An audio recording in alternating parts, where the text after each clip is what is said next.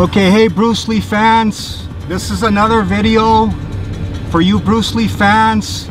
If you've if you've ever read a lot of books like I have of Bruce Lee, you know that Dan Inosanto always talked about going to Bruce's house in Culver City. Well, thankfully to another fan, hardcore fan like us, he uh, found all the check stubs. I don't know where he got them, but he got the address of the house where I don't know if you know that anecdote where Bruce, I think this is the house where Dan Inosanto said they were eh, they couldn't they were amazed when he did that kick and he he busted up that that uh that that dummy that he was he had all packed with I guess like felt and and it, it exploded. Well, this is the house. This is the house where also Kareem Abdul-Jabbar. I remember he talked a lot about it. And I'm sorry that I don't have the book with me because there were some pictures of Dan Inosanto and his kids here. And it's at 4114 Van Buren Place right behind what was once Selznick Studios. And here it comes fans. Bruce Lee lived here. He was 27 right after the uh, the, the the cancellation of the Green Hornet. He was 27 and he lived in this house Bruce Lee fans when he opened the Chinatown Dojo on College Street in LA's Chinatown here it is.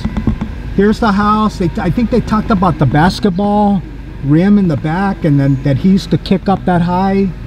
I'd have to get the book I'm sorry but I'm gonna take you to one more spot.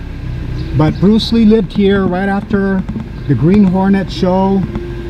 Uh, I guess his finances you could tell obviously came down after having lived on Wilshire Boulevard during the making of the Green Hornet and he was only 27 can you believe that?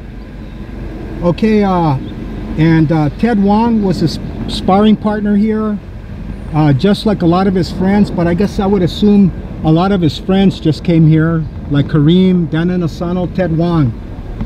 And uh, I got a book where it has a lot of photos with him sparring with Ted Wong and Dan Inosanto and in fact Dan, Dan Inosanto still lives in Culver City from what I've heard and his academy here used to be in Torrance and now it's in uh, Marie, um, uh, Vista, uh, Mar Vista, about, I guess about two miles west of us.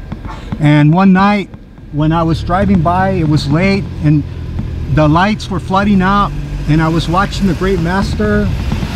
I was fortunate to go in there and watch him uh, practice and teach his students his form of martial arts. Okay, uh, it's just amazing that I found the house thanks to that hardcore fan.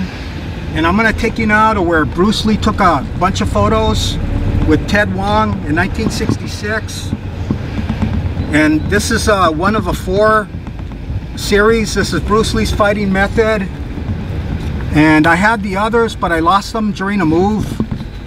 South this is the fighting method one. And then I, I got right here. There's uh, volume one. Let's see which one is this? I guess, I guess this is volume one.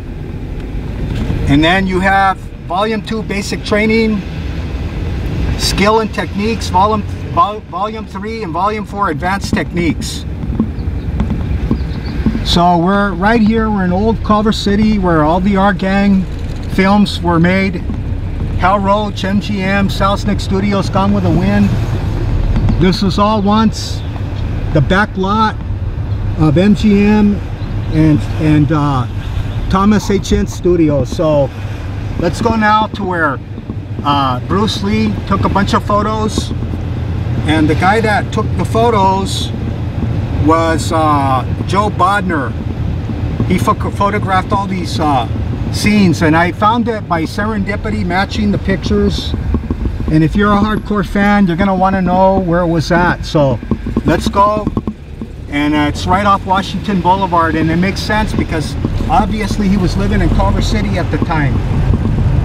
Yeah, he made them in 1966 so it must have been right there hanging out at Dan Inosanto's house. Okay Bruce Lee fans please subscribe to my uh, channel and you can see Bruce Lee statue in LA's Chinatown and where he uh, ran on Roscomare Road where he jogged and where he lived with Linda, Brandon, and Shannon in Bel Air.